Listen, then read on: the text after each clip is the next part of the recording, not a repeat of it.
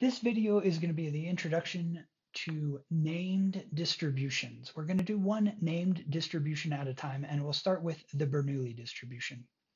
So we'll do a quick recap about distributions in general, and then we'll introduce the idea of a random variable.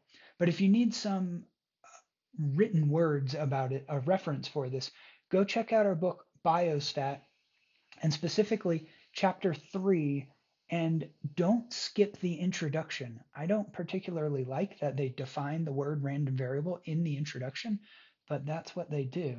And then um, continue on to the subsection 3.1.1.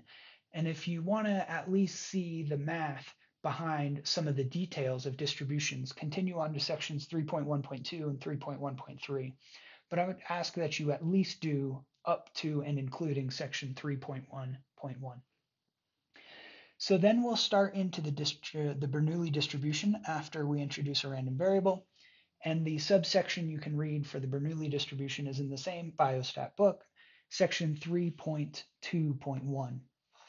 So distributions, as far as we have been concerned, is the shape of the population of interest.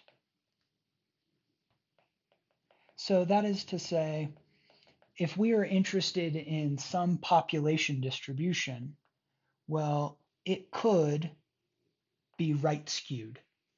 Or we could have a population distribution that is symmetric and unimodal, just has one mode, just has one hump in it.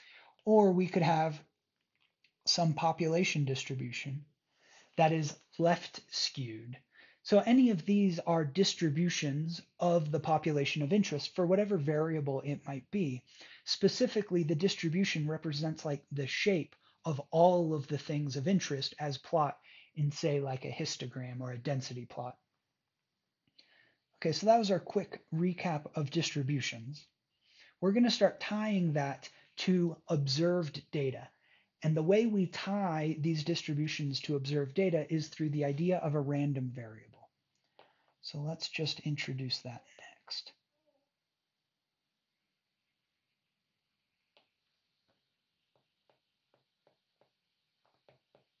A random variable holds a few different uh, ideas in mind for us. A random variable is essentially a variable whose outcome is unknown hence it's random. A really simple particular example is just a coin flip. If I flip a coin, you can't tell me consistently what outcome we will observe. You might be able to tell me one or even two or maybe even three times in a row, but you can't really extend beyond that, or at least I'd be willing to bet a lot of money that you can't tell me five times in a row the outcome of a flipped coin. So a random variable is really just a variable whose outcome is not yet known. And this could be anything like a coin or even a human being. You yourself are a random variable to me in terms of your height. Well, not only the semester because I literally don't see you standing in front of me, but also because I don't have a tape measure out and I haven't actually observed your height with an appropriate tool. Until I observe your height appropriately, you are a random variable for in fact a variety of different outcomes height, weight, uh, even simple things like major. So a random variable in the simplest case is just a variable whose outcome is unknown. But in another sense, a random variable is a quantity that describes or is drawn from, is like taken from, the population distribution of interest. So random variables can follow distributions. The phrase we use is follow distributions, but what we mean is like this random variable is a member of that population. And that population is described by some shape, some distribution. So essentially the random variables follow that shape. Okay. In another sense, random variables um, define the relationship between possible outcomes and the probability of those outcomes. Sorry that the word outcomes is smushed down there in the bottom, but that's okay. I think you get the idea. Random variables have outcomes whose are unknown. They follow specific populations. That is, these random variables are theorized to come from a specific population and hence follow that population's distribution. And they define implicitly the relationship between the set of possible outcomes and the probability of those outcomes. So I think the easiest thing to do is jump into a quick example for like the Bernoulli. So let's just move to the Bernoulli distribution. And again, we'll start real simple. The simplest example of a Bernoulli distribution is a fair coin. A fair coin with probability of heads equal to 1. Whoops, 1 half. My mistake. A fair coin has probability of heads equals to 1 half. That's what makes it fair. So if we were to phrase this in terms of a Bernoulli distribution, we would say a random variable is Bernoulli or follows the Bernoulli distribution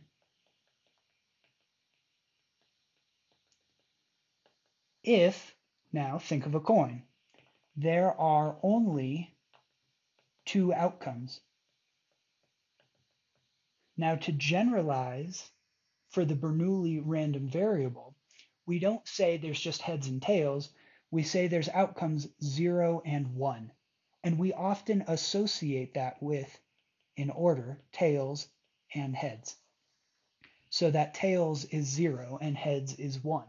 That's just kind of a custom in the world of statistics. There's no real reason behind associating one with heads. Okay, so we have a Bernoulli distribution if there's only two outcomes and the probability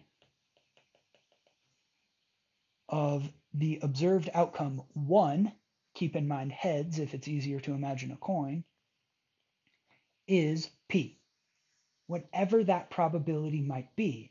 In the case of a coin, specifically a fair coin, that probability of one, heads, the probability is one half.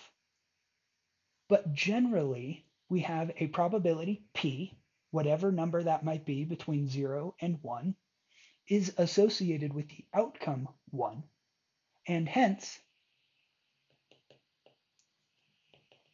the probability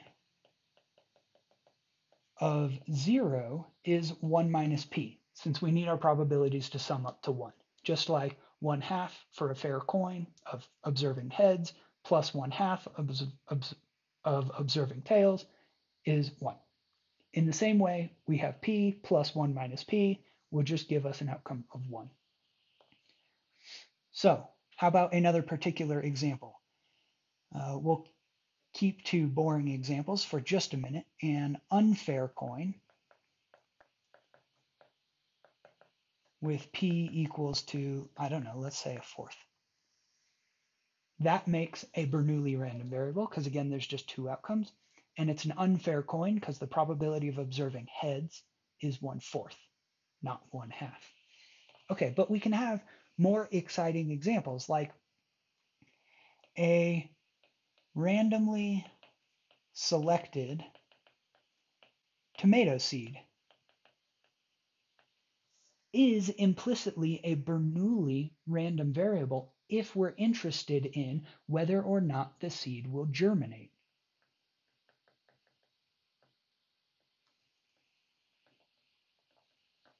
Since there's only two outcomes, the seed germinates or it does not, it is inherently a Bernoulli random variable. And because there is some unknown probability that the seed will germinate, we know there's this probability P, whatever it might be on the population side, to describe this random variable and this distribution.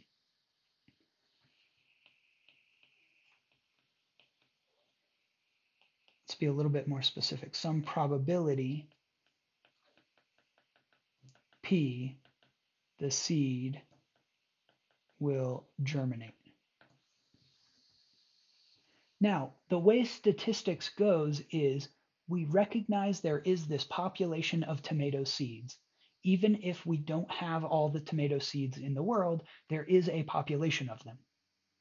Okay, to learn about that population's characteristics, i.e. the parameters, that's the value p in this example, you would take a random sample of tomato seeds. You would give them some sort of treatment. I don't know, sunshine and water put in dirt. And you'd put the seed in dirt and then give them sunshine and water. And then you'd measure how many of those seeds actually germinated. Because you'd have a bunch of zeros and ones, zero if a particular seed did not germinate, and one if a particular seed did germinate, you'd essentially just take the mean of all of your outcomes. One anytime the seed germinated, zero anytime it didn't, add up all the zeros and ones, and divide by however many there are. That would give you an estimate of the population parameter p.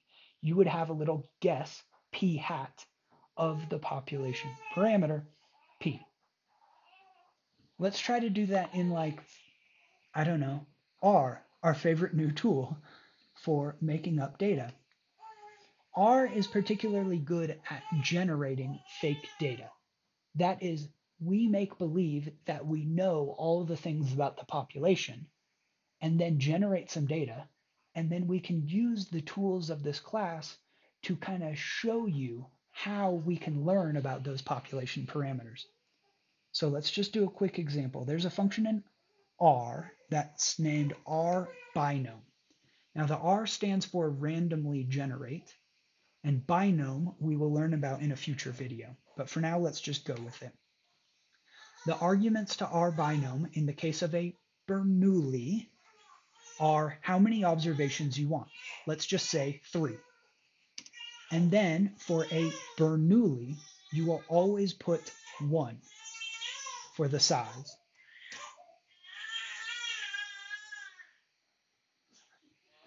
And then you'll put the probability of whatever process it is that you are pretending, in this case, because we're pretending like we know the population distribution and all of its parameters, you'll put whatever probability you think the population should have. So I'm okay at growing tomatoes, so I'm going to say there's a 75% chance any of my randomly selected tomato seeds will germinate.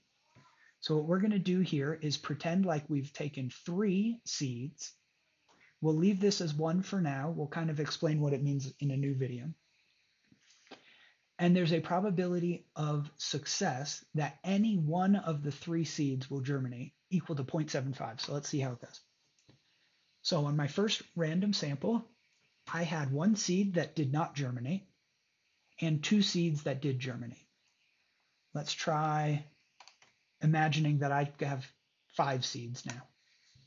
Just by chance, because there's a high probability of success, all five seeds in this made up example germinated. Let's go one more time just to show you that it's truly random. And this time four out of five seeds germinated. Now what I'm claiming is that if we take the mean of our observed data, we will estimate the true population parameter. In this case, because it's completely fake, we know what the true population parameter is. In the real world, we won't know this highlighted value, p, but we will have observed data from which we can try to estimate that observed value. Okay, so let's do something a little bit more interesting. We'll say I took a random sample of 50 seeds. I'll store my data into a variable named x. You can see over here on the top right that sometimes the seeds germinated, sometimes they didn't. Here's a long streak of them germinating, and here's another one that did not. And indeed, there's 50 observations. So we could create a new variable named p hat by calculating the mean of x. So here I'm going to name my variable p hat, like I am guessing the population parameter p. I'm going to assign into that variable the outcome of the function mean calculated on the vector x. And look, p hat is a guess of the population parameter, 0.75. It's not perfect because we don't have all the tomato seeds in the world. We just have some. But in the theory of statistics, if we sample more observations, then theoretically we're going to get closer to the true population mean. Now that doesn't always work out in our favor, but it should work out often enough. Like this one's actually slightly closer, but not by a lot. And theoretically, if we take a ton, look how easy that is in R, of new samples, of new observed data, then we can get really close to the true population parameter. So this was our first named distribution. It is the Bernoulli distribution. And it's fairly easy to uh, replicate, or no, not replicate, to create some fake data in the world of R such that we can get a better understanding of both the random variables themselves, the observed values, and the population parameter describing the probability that any one of these outcomes is equal to 1. Please do give yourself a quick example of something just like these three lines of code. Pick your own population parameter P, maybe play around with a few different sample sizes, and convince yourself that as your sample size gets bigger, your estimate will get closer to the population parameter of interest.